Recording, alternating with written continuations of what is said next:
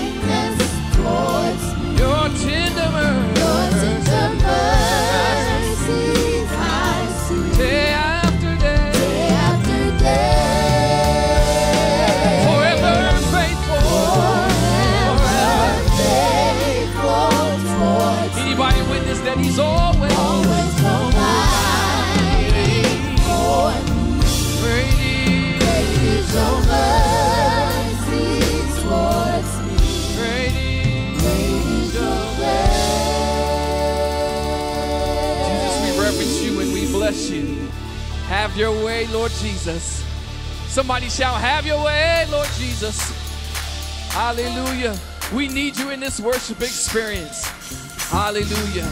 In Jesus' name, amen. Hallelujah. Come on, Kingdom Fellowship.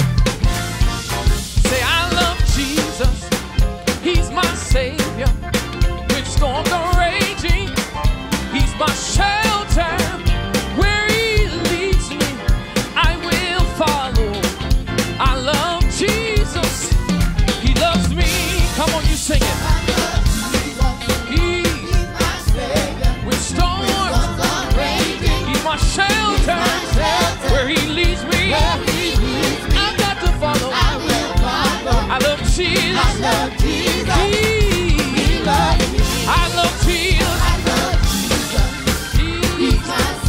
Storms are raging.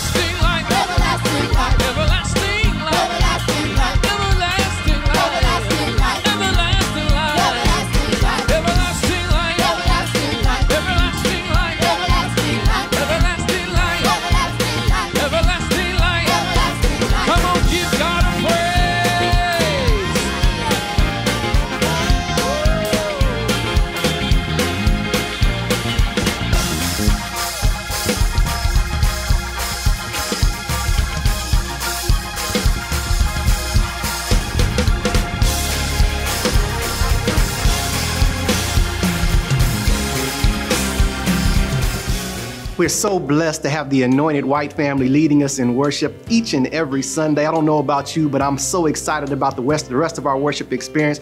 I'm Minister Brian here from the ministerial staff here at Kingdom Fellowship AME Church. Why don't we go to our Lord in prayer as we continue in worship? Every head is bowed, every eye is closed, every spirit is praying. Lord God, we thank you uh, for this day. We love you today, Father. Uh, we thank you, Lord, that you touched us today with your precious hand of mercy, Lord God, that you breathed into us uh, the precious breath of life, Lord, and given, given us another, another opportunity to come here and to seek your face, Lord God. We want to exalt you on today, Lord God. We want to glorify you on today because you are worthy, Father, and worthy of our praise. And, and even though there's a, a great deal of turmoil going on in the land, Lord God, even though there's strife and, and trial going on in the land, we're grateful uh, that you have not given us a spirit of fear, but you've given us a spirit of power and of love and of a sound mind. And so, as it is on this Sunday, Lord God, that we come here to our worship experience, we want you to know that we are grateful, Father, for your keeping of us, Lord God. We're grateful for your power. We're grateful for your provision and your presence, Lord God. And we ask right now, and in the name of Jesus, that you would do something special on today. I'm praying, Lord God, for my brother. I'm praying for my sister on today that come to this uh, worship experience looking for you in a mighty, in a new, in a uh, in a miraculous way, Lord God. And we thank you for what you're going to do in advance of the provision, Lord. We ask that you would uh, pour into our senior pastor on today as he prepares to bring us the word, Lord God. We're thankful for your word on today. We ask for a special anointing, Lord God, that you would touch him because there can be no proclamation without your inspiration, Lord. We thank you for his leadership, Lord God. We thank you for his guidance, Father, and we are uh, looking forward in anticipation for what you're going to do through the man of God on today, Lord God. We uh, bless your name in advance, Lord God. We ask that you would do these things in the mighty name of our Lord and Savior, Jesus Christ. And we'll be ever so careful to give you all of the honor, all of the glory, and all of the praise. And all God's people said, Amen. Amen and praise God. We're so excited for all of you to join us today, but we're especially excited for our uh, new and returning guests. We're so excited uh, that we've created a song just for you. It's Gather, Grow, Give, and Go. Amen.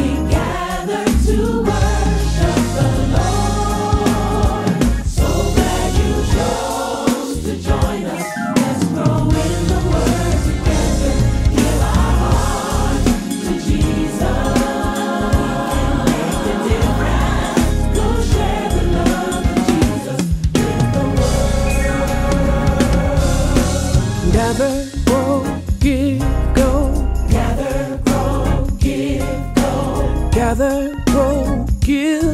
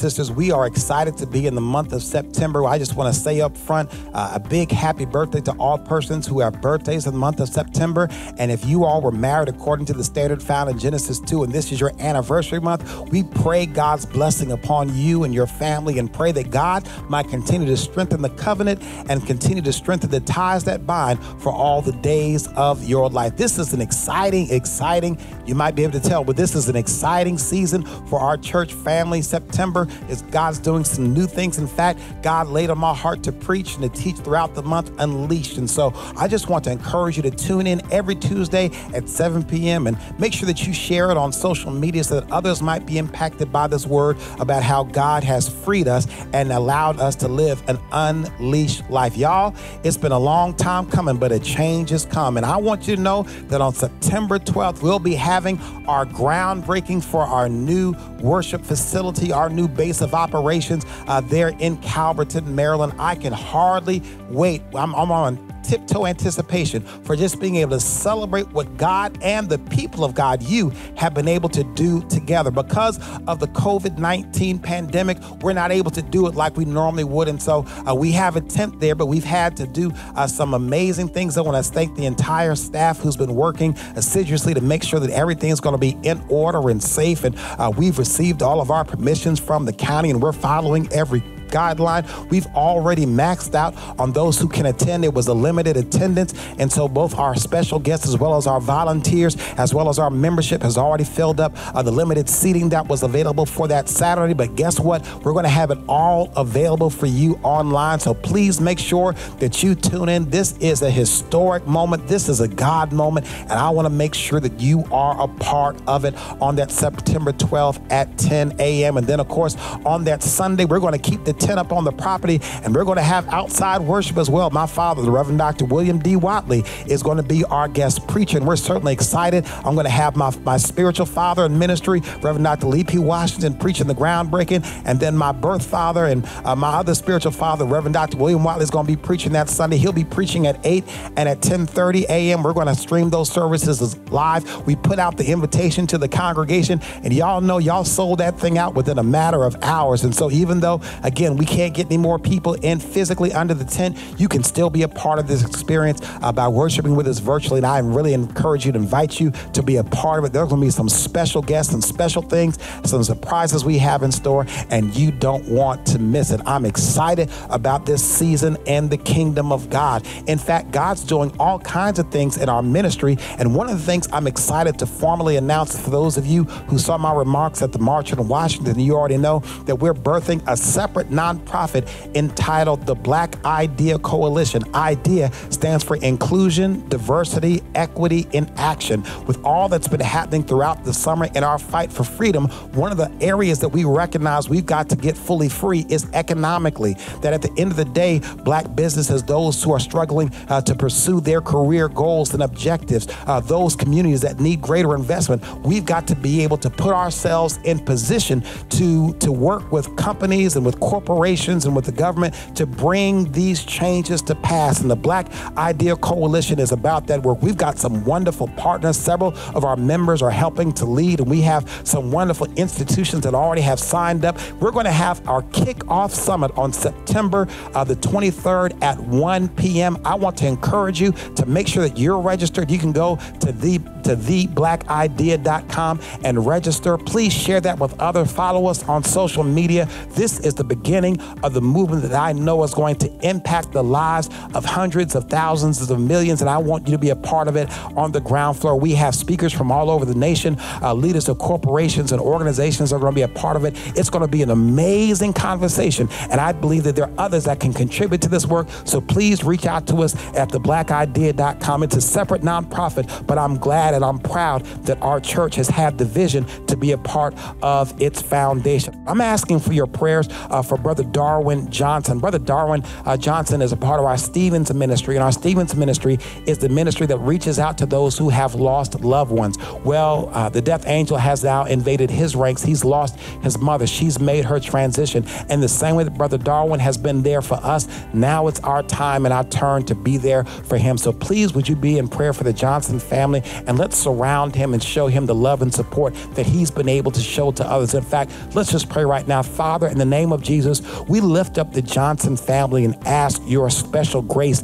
to be upon them, as well as others whose names that we don't know to call at this time, but also have experienced loss. We pray, God, that you might stand in the gap and that you might gird them up, that you might grant them supernatural strength to make it through these days and to celebrate the life of their loved one. We ask as a congregation that you might help us to be a comfort to them, particularly during this season and time. We give you glory that to be absent in the body is to be present in the Lord. And so we celebrate what you have done and calling another saint home. In Jesus' name, amen. We're so excited about our new CDC, the Kingdom Community Development Corporation. We're excited about the work that's going on there. Reverend Kendra Smith is leading an effort uh, to be a blessing, not just to our congregation, but to this community. And I'm excited to announce that we're now a hub for Montgomery County, which means we're going to be providing additional service beyond the feeding work that we've already been doing. And you're going to hear about that more in just a couple weeks. Well, brothers and sisters, it's time to receive our tithes and offering for today. I'm I'm so grateful to God for your faithfulness to the kingdom of God and to your church home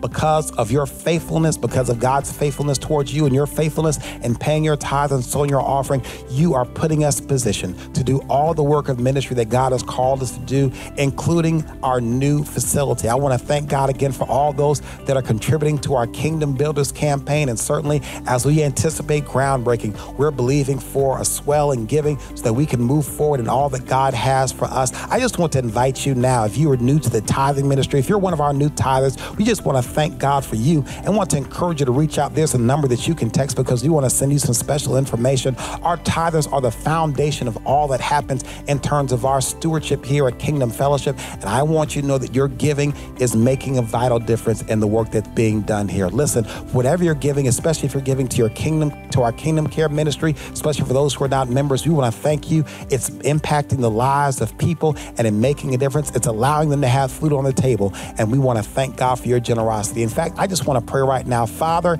in the name of Jesus, we give you glory and praise because you recognize every good and perfect gift comes from you. Because you've blessed us, we are now excited about blessing you, blessing your house, blessing your church, and blessing your work. So, God, I pray that you'll bless both gift and giver. In Jesus' name, amen. The electronic means of giving, they are on your screen, and so we encourage you to take advantage of them and give as God has blessed you. It's a wonderful day for worship. I'm all dressed up. It's first Sunday. I need you to get your communion elements ready because when we come back, we're going to be celebrating the Lord's Supper. Come on, y'all. Let's have church. Groundbreaking for Kingdom Fellowship's new base of operations for local, national, and global ministry is coming up on Saturday, September 12th at our new Calverton property, which will serve as the new home for Kingdom Fellowship AME Church. And on Sunday, September 13th, we'll have a special corporate worship opportunity. All of these events will be strictly governed by CDC and Maryland state guidelines regarding COVID 19 safety measures for gathering. And it's because of your prayers, your giving, and the fact that you continue to speak well of this historic God sized project. Please continue to remain kingdom focused.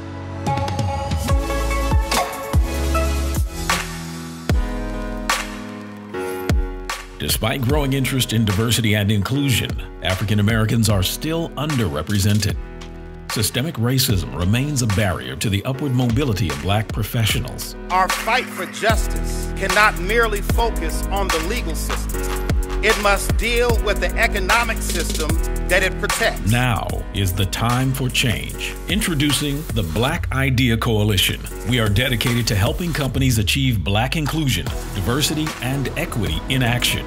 Marches and movements only have meaning when they lead to structural change in the economic system. Join us on September 23rd for the Black Idea Summit. Register now at theblackidea.com. Let's create an equitable future for the black community. Our time is now. Follow the money. My name is Matthew Watley, and I endorse this message.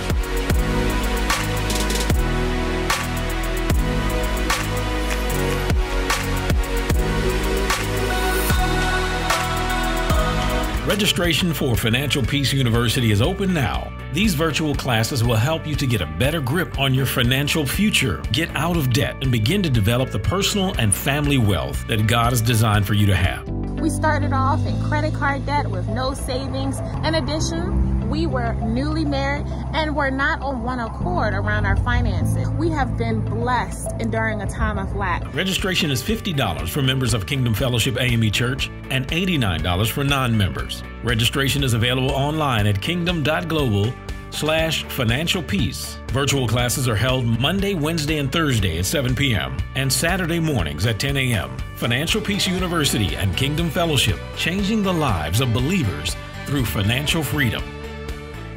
Life groups this spring was the best decision that I made for 2020. I was looking for somewhere that I could socially interact with my brothers and sisters of Kingdom, being that I'm new. I loved it. I loved the people that I met through there, and I wouldn't have had the opportunity to meet these people if it wasn't for life groups. I had my fellow brothers and sisters who were in the group with me, cheering me on. Being a member of the Stepping in Faith Walking Life group has meant accountability and growth. Our Christian relationships have gently urged us to stay motivated, to follow God's Word, to stay in God's words as we take care of ourselves, our families, as well as the members of our life group.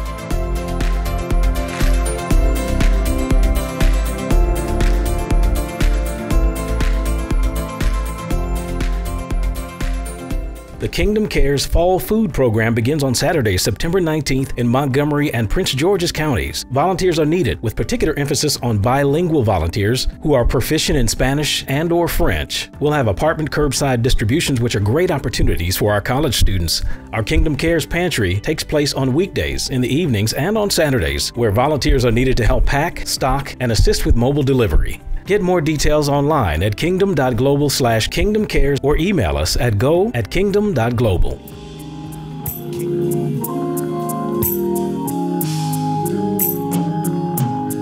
I am thine, O Lord. I have heard thy voice, and it told thy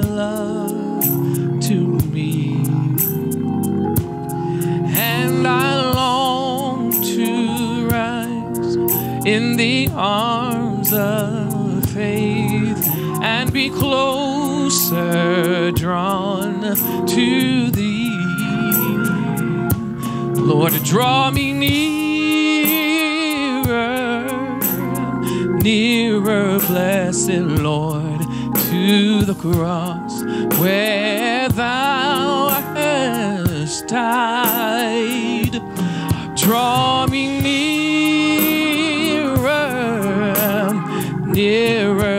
blessed Lord, to thy precious bleeding side. Come on, sing that favorite verse. Consecrate me. Consecrate me now to thy service, Lord, by the power of grace divine. And let my soul look up with a steadfast hope, and my will be lost in Hallelujah. Draw me nearer. So draw me nearer, dearer, blessed Lord, to the cross where thou died. Draw me nearer, yeah, nearer, blessed Lord, to the precious bleeding side. Amen. The prayer of consecration.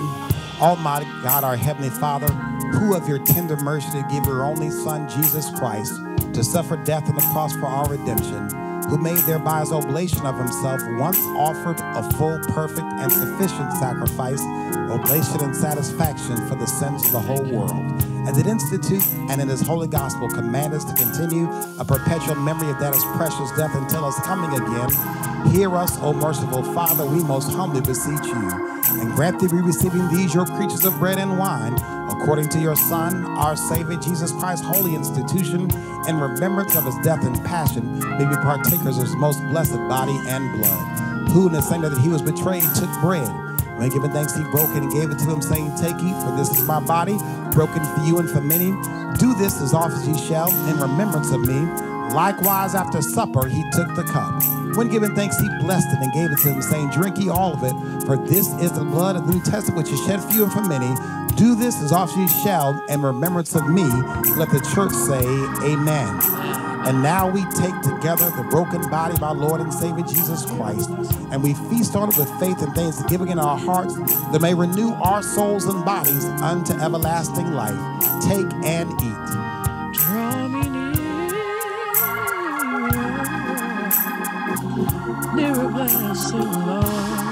And we're grateful. Somebody say, Thank you, Jesus. Thank you, Jesus. Now we take the cup, the precious blood of Jesus, more precious than silver and gold, more precious than the blood of bulls upon the altar slain. We drink it with faith, thanksgiving in our heart. May renew our souls and bodies unto everlasting life. Take and drink. To thy precious bleeding. And we're grateful. Somebody say, Thank you, Lord. Lord, thank you, Lord. Brothers and sisters, we now renewed our covenant with God. Let us pray the prayer that Jesus taught his disciples Our Father, who art in heaven, hallowed be thy name. Thy kingdom come, thy will be done, on earth as it is in heaven. Give us this day our daily bread, and forgive us our trespasses, as we forgive those who trespass against us. And lead us not into temptation, but deliver us from evil. For thine is the kingdom, the power, and the glory, forever and ever. Amen the prayer of thanksgiving. O Lord, our heavenly Father, we, your humble servants, desire your fatherly goodness, mercifully to accept this our sacrifice of praise and thanksgiving, most humbly beseeching you to grant that by the merits and death of your Son, Jesus Christ, and through faith in his blood, we and your whole church may obtain remission of our sins and all of the benefits of his passion. And here we offer and present unto you, O Lord, ourselves, our souls and bodies, to be a reasonable, holy, and living sacrifice unto you, humbly beseeching you that all we who are partakers of this holy communion may be filled with your grace and heavenly benediction. And although we be unworthy through our manifold sins to offer unto you any sacrifice, yet we beseech you to accept this our bounden duty and service, not weighing our merits, but pardoning our offenses through Christ our Lord, by whom and with whom, in the unity of the Holy Spirit, all honor and glory be unto you, O Father Almighty, world without end. Amen. The Gloria in Excelsis. Glory be to God on high, and on earth peace, goodwill towards people. We praise you, we bless you, we worship you, we glorify you. We give thanks to you for your great glory. O Lord God, heavenly King, God the Father Almighty. O Lord, the only begotten Son, Jesus Christ. O Lord God, Lamb of God, Son of the Father that takes away the sins of the world, have mercy upon us. You who takes away the sins of the world, receive our prayer. Receive our prayer. You who sit at the right hand of God the Father, have mercy upon us. Have mercy upon For you alone are holy. You alone are the Lord. You alone, O Christ, with the Holy Ghost our most high, and the glory of God the Father. Let the church say, Amen. Brothers and sisters, we are glad to have renewed our covenant with Almighty God. We're going to ask now that you might prepare your hearts and minds for the sermonic selection, after which we shall see what word there is from the Lord. Come on, clap your hands. Listen, the Lord can and will deliver every obstacle in your way. We serve a God that destroys every obstacle. Hallelujah. Giants do die. Yeah. Come on, sing it. Zion. Giants do die. do die. The bigger, The bigger they are, harder they the fall. harder they fall. Giants,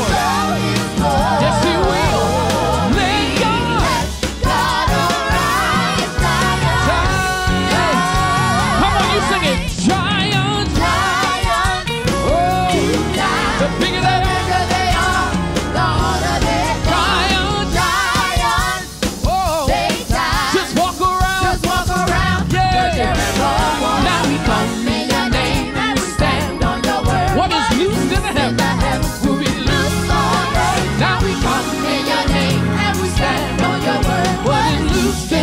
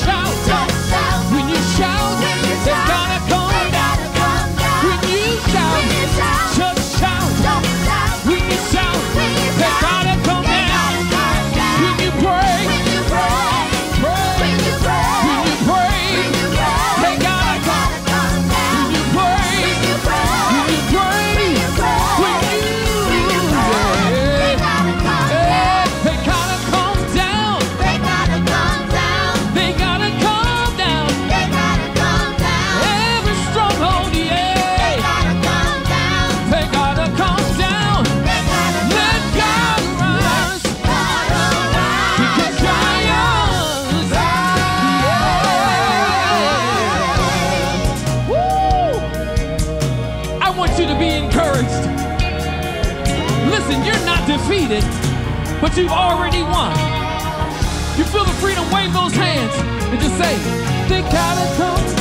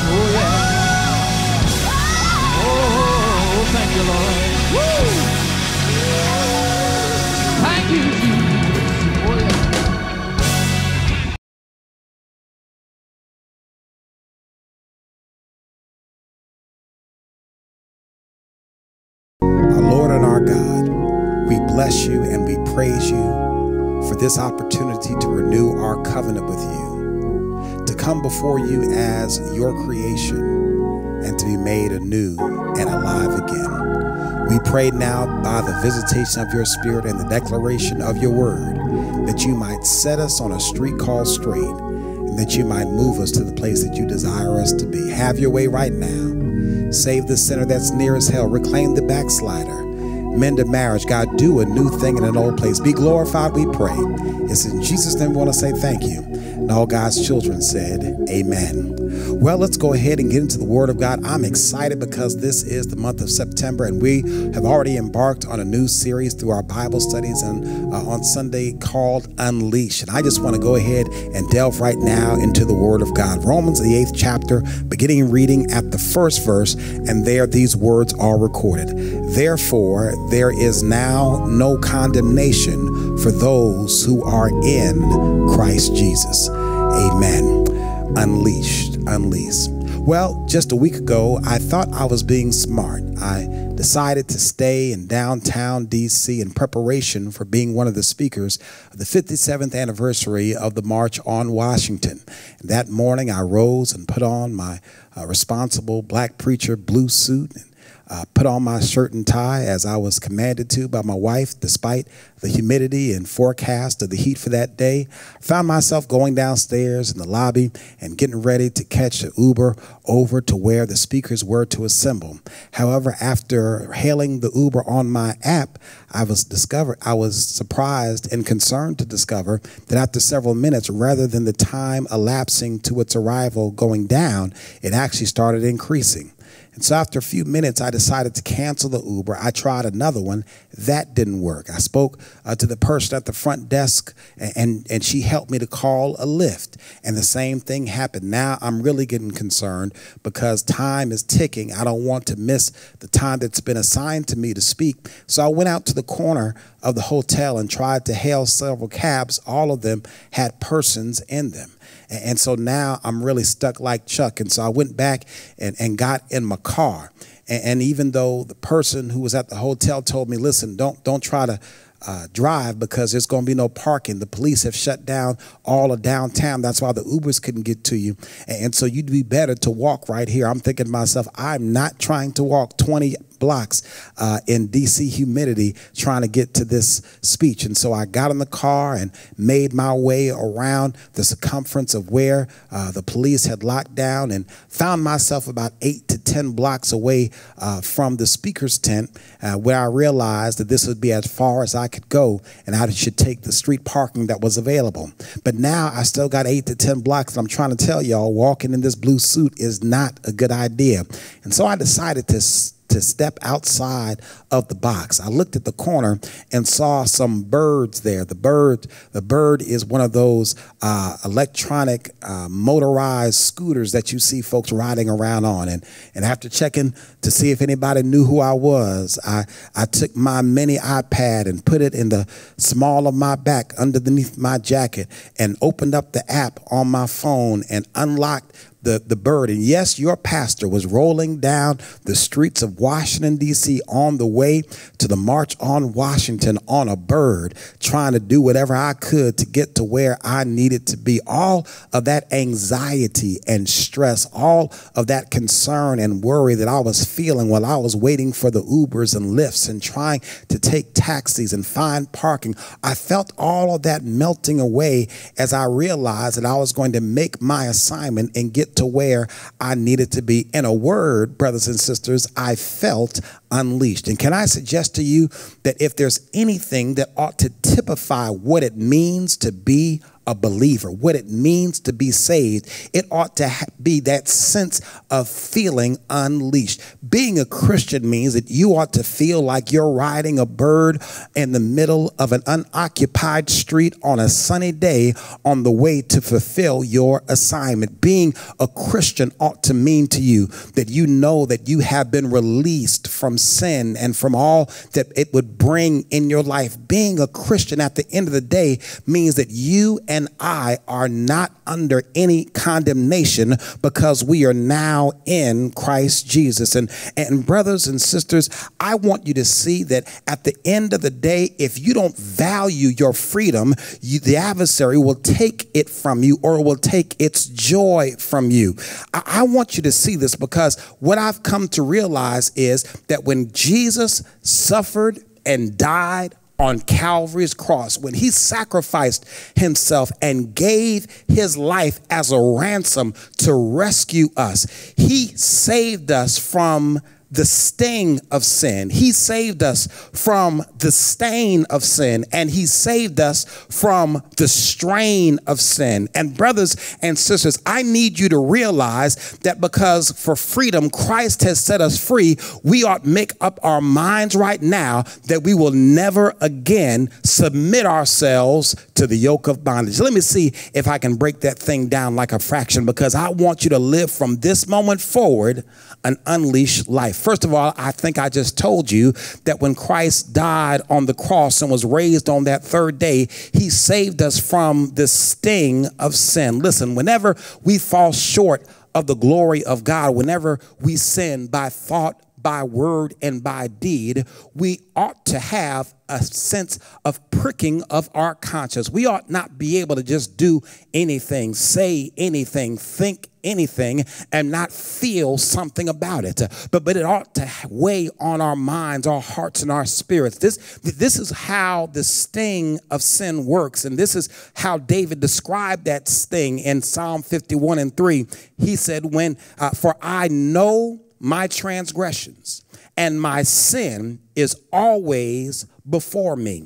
In other words, when I sin, when I fall short of the glory of God, when I know right and still do wrong, it sticks with me. When I choose lust rather than life, when I act dishonorably towards others or even towards my God, when I allow the spirit of jealousy to flood my heart, I, I, I have the sting of sin on the inside of me. And, and listen, whenever you are stung, you got to have a, a way of dealing with it. And when you are stung by sin, you got to treat it, watch this, with confession and repentance. That this is what David did just in the next verse. He said, Against you and you alone have I sinned and done what is evil in your sight, so that you are right in your verdict and justified when you judge. In other words, David did not seek to justify his sin or rationalize his sin or compare his sin to somebody else's, but rather he acknowledged and admitted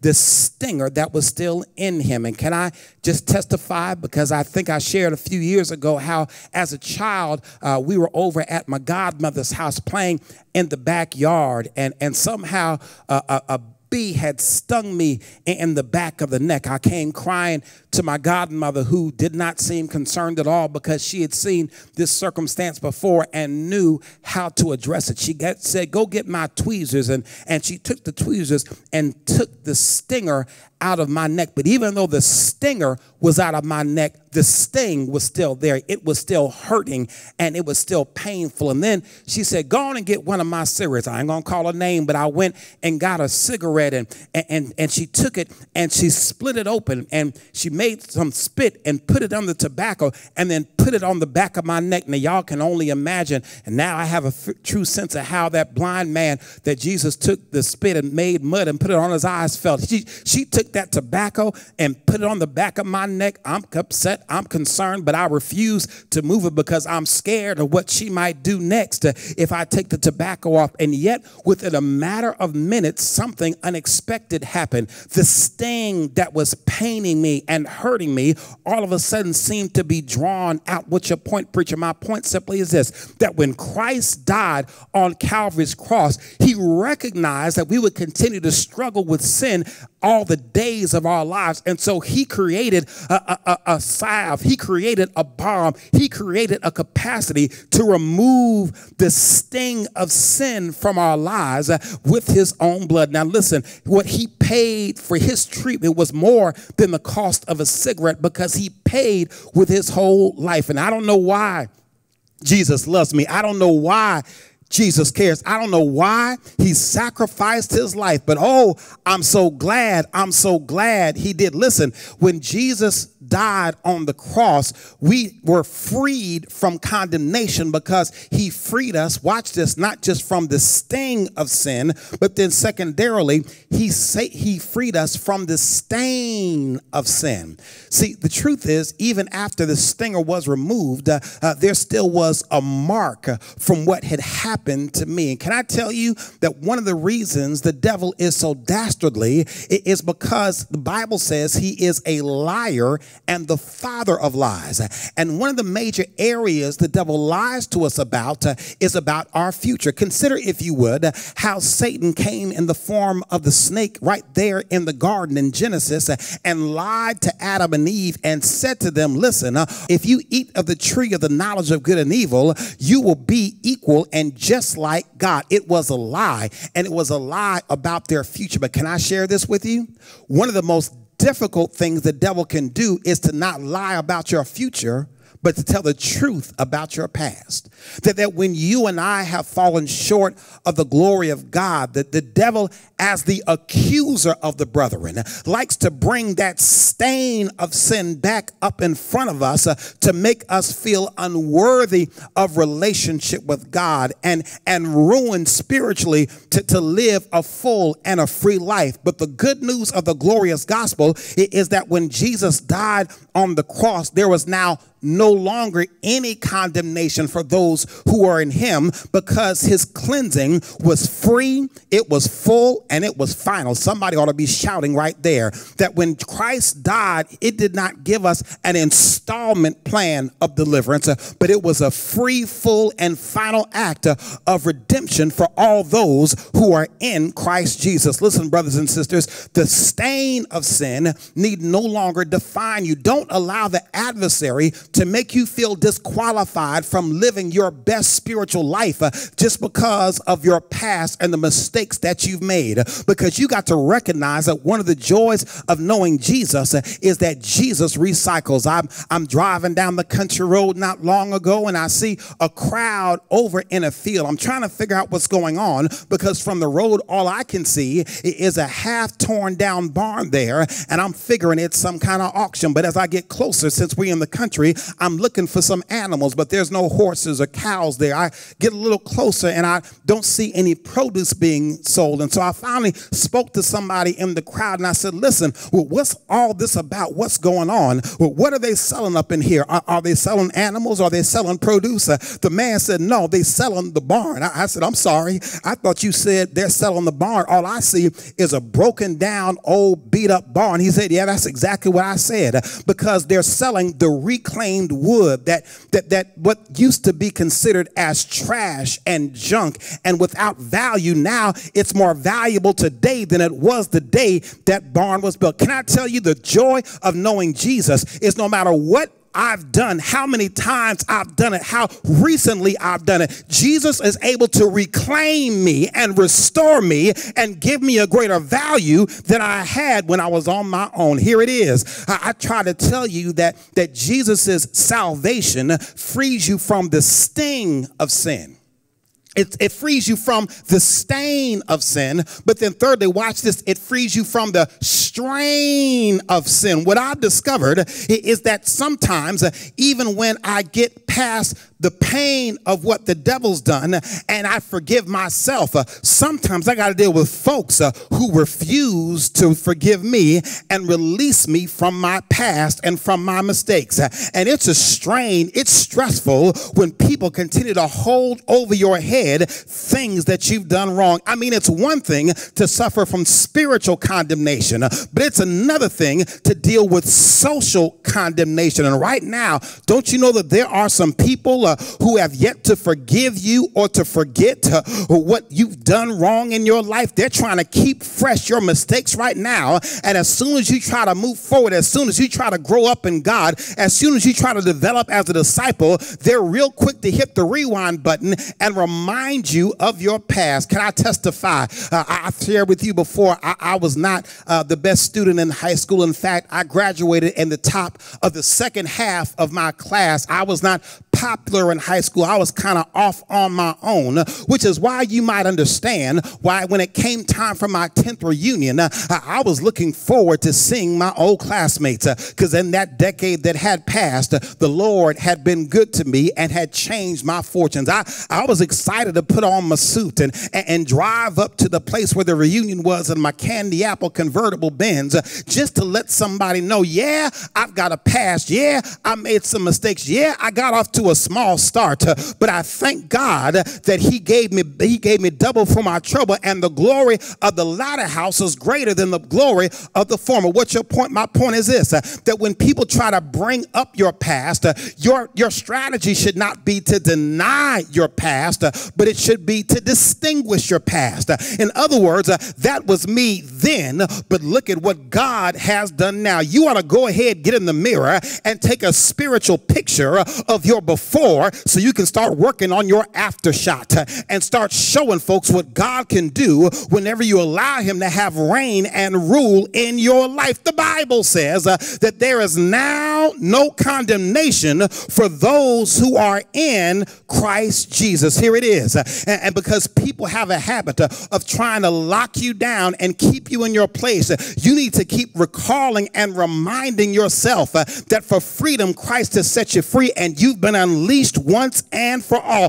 Don't you allow people to put you down, hold you down. Don't allow anyone to seek to undo the finished work of freedom and forgiveness that Jesus has given to you. Don't allow cancel culture to cancel your future and your present. It's, it's an interesting concept. It's the only area of agreement that I can find between both Donald Trump and Barack Obama. Each of them has spoken publicly about the danger of cancel culture. In fact, uh, uh, there was a, a letter, an open letter that was signed by more than 100 influential people, including Salman Rushdie, J.K. Rowling, Winston Wynton Marsalis, and Cornel West. Uh, the point of the letter was to caution the toxic culture uh, of canceling people because they've made mistakes or they've said something that you don't disagree with. It's a terrible time in which we live, in which one tweet one text, one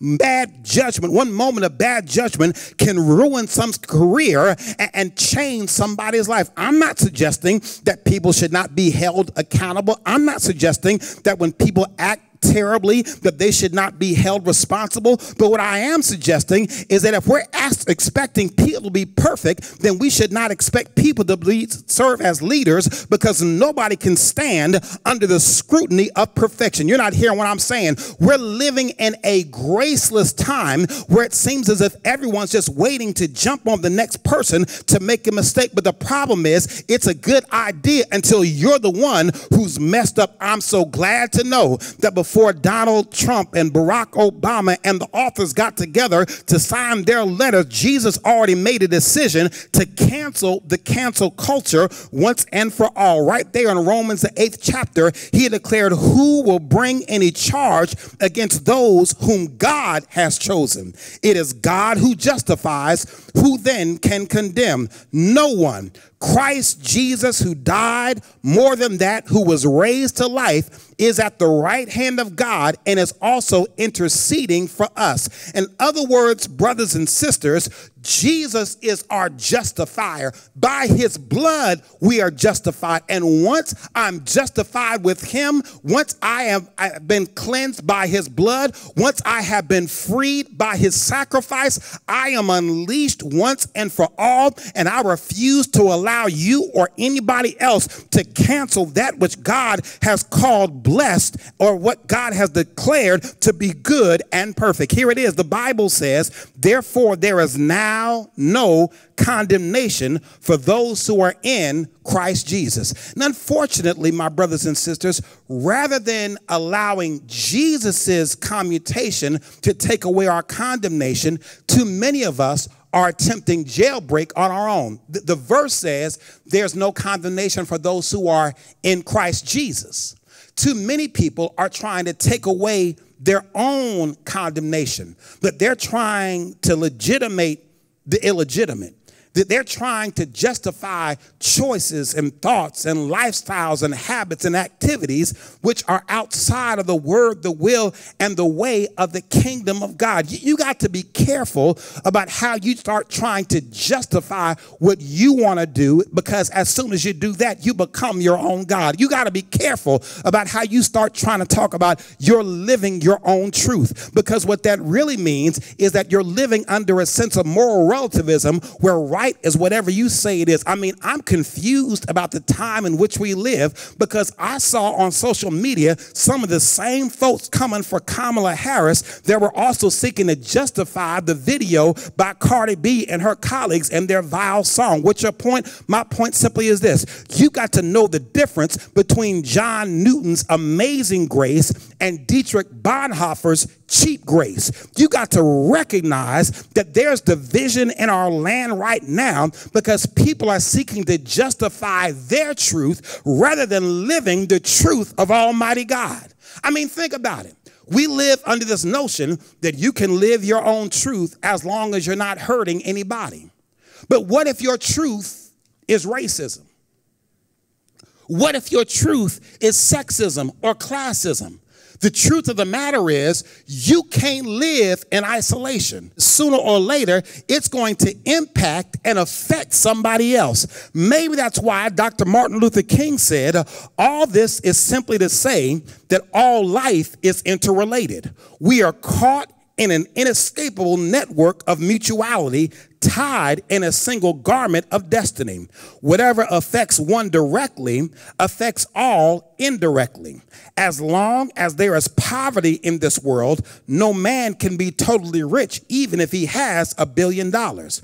As long as diseases are rampant and millions of people cannot expect to live more than 20 or 30 years, no man can be totally healthy, even if he just got a clean bill of health from the finest clinic in America.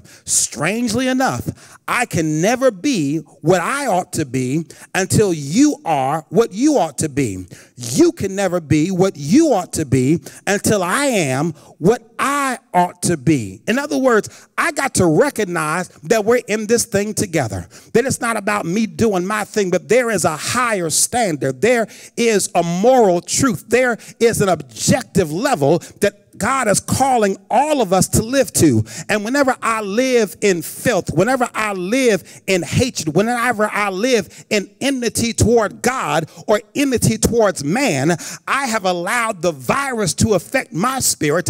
And sooner or later, it's going to infect somebody else. I, I got to get out of here. But, but the Bible says that Jesus, that Paul declares in Romans 8, therefore, there is now no condemnation for those who are in Christ Jesus. That, that text begins with the word therefore. And you know that therefore it is a conjunction. It connects something that happened before with something that's about to happen. And because therefore starts off chapter number eight, uh, you really got to go backwards and look at what happens in chapter number seven. And the whole issue in chapter number seven is to prove to us once and for all that we cannot deliver ourselves. We cannot unleash ourselves. Here's how Paul puts it uh, in chapter number seven. When I would do good, uh, evil is always present. And the good that I would do is not that which I do. And the evil that I don't want to do is the very thing that I do. Oh, wretched man that I am, who can deliver me from this mortal death? But I thank God he doesn't put his pen down there, but he answers his own question and says, Thanks be to God who gives us victory through Jesus Christ. It is only in Christ that I truly can be unleashed. Uh, it matters not how much money I make, it matters not uh, where my address is, it matters not how senior I am in the company. It is only through the freedom of relationship with Christ uh, that allows me to truly be delivered from the sting, the stain, and the strain of sin. I'm out of here. But I want you to understand it is only when you get in Christ and when you allow Christ to get in you that you will truly be unleashed. That's why Jesus said in John the 15th chapter and the fifth verse, I am the vine and you are the branches. If you remain in me and I in you, you will bear much fruit. And apart from me, you can do nothing. He says, if you're in me, that, that's a statement of intimacy. He's not talking about God adjacent. He's talking about being God intimate. He's talking about closeness with God, nearness with God. He's talking about allowing God to be fully formed in you, which requires some intentionality. God doesn't just show up in your life, uh, but you got to open up your heart and let him be in as your Lord and Savior. You got to seek him in prayer and seek God in praise and seek God in his word and seek God in fasting and seek God in worship and seek God in meditation. You got to seek God with all of your heart and your mind and your soul and your strength, and God will allow you to bear fruit. He'll allow you to initiate new things in your life. Listen, Jesus didn't just set us free from sin, but he set us free for himself and for his kingdom and for his church and for his purpose. Can I ask you, what are you using your freedom for? What are you using your new life for? What are you using your abundant life for? I need to know today uh, is God using the gifts and the graces that He's put on the inside of you? Are you allowing Him to cultivate the fruit of your spirit to, so that you might be a blessing to His kingdom and to His church? I need you to understand understand that it's only in Christ that you can truly find freedom. I need you to know that Jesus came that you might be unleashed to live and to love and to laugh. He came that you might be unleashed to walk in power and purpose and with passion. He came that you might be unleashed so that you can serve and sow and sacrifice. You can pray and praise and preach. He came that you might be unleashed so that you might conquer cancer and COVID, that you might defeat poverty and victory, that you might be able to intercede for others and build his kingdom on earth as it is in heaven, shackled by a heavy burden beneath a load of guilt and shame. Then the hand of Jesus touched me, and now I'm no longer the same. He touched me. Oh, he touched me. And oh, the joy that floods my soul. Something happened, and now I know He touched me and made me whole. Brothers and sisters, I need you to know that Jesus has touched you with His finger of love. He's allowed His blood to cover your sin and to cancel your debt. He's given you new, eternal, and abundant life, which means you are unleashed to live the life that God has called you to live. I invite you now to live your best life, which is in Christ. Brothers and sisters, let me just pray for you right now. Father, in the name of Jesus, we glorify you and we praise you that you have given us a one way ticket out of condemnation. And I pray even now for that brother, that sister who still feels unworthy. God, allow them to be released from their feeling to the place of faith where they know that you receive them, you affirm them, you welcome them, you embrace them with your unquenchable love. Now, for the one that doesn't know your love, allow them to accept you in this moment. In Jesus' name, amen. If I just prayed for you because you don't know the Lord Jesus as your personal Lord and Savior, don't waste this moment, but know that this is a divine time for you to be saved, for you to be delivered, for condemnation to be canceled off of your life.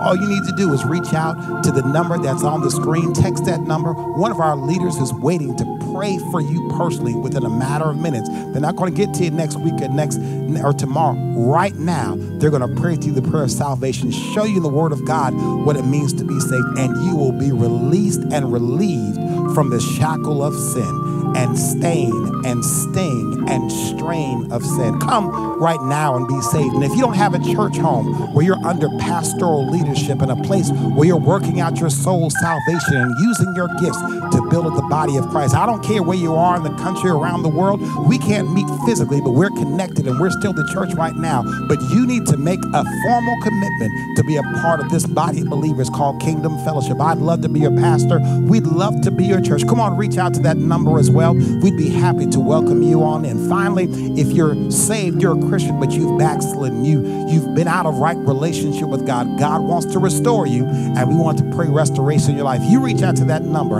identify your need. We're going to pray for you name by name and need by need. We give glory to God that we are unleashed to live a new and an abundant life. Let's just go ahead and receive now the benediction, grace, peace, and mercy from God the Father, God the Son, and God the Holy Spirit. Spirit rest, rule, abide now with these your people, both now and forevermore. Amen. Kingdom focused. Praise the Lord for this fantastic season of being unleashed for the glory of God.